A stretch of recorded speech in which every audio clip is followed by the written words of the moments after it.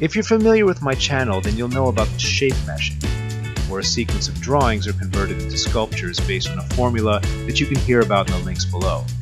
Most of my assets use this as part of the setup, but regardless of the technical aspects, the design philosophy is always the same. It has to look good. There's fire, water, smoke, magic, electricity, lasers, muzzle flares, particle effects, and I think I even snuck a character rig in there. And they're all easy to use and come with their own documents and videos. The point is, any animator, or effects artist, can pick up one of these rigs and start using them right away. They're all built the same way, so if you know how to use one, then you know how to use them all.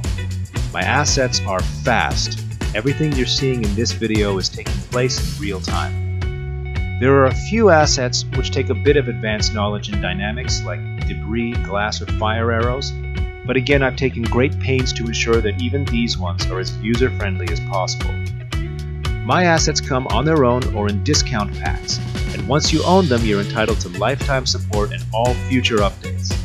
I'm always updating the rigs and adding features based on user requests, so a pack you buy today will be upgraded and improved indefinitely.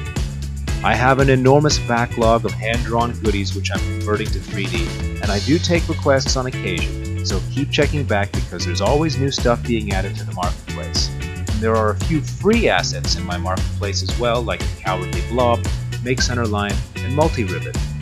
All of these are available on the FlippedNormals marketplace. I've included a link in the description. So if you're looking to take your animated scenes to the next level with some easy to use drag and drop effects, now's the time.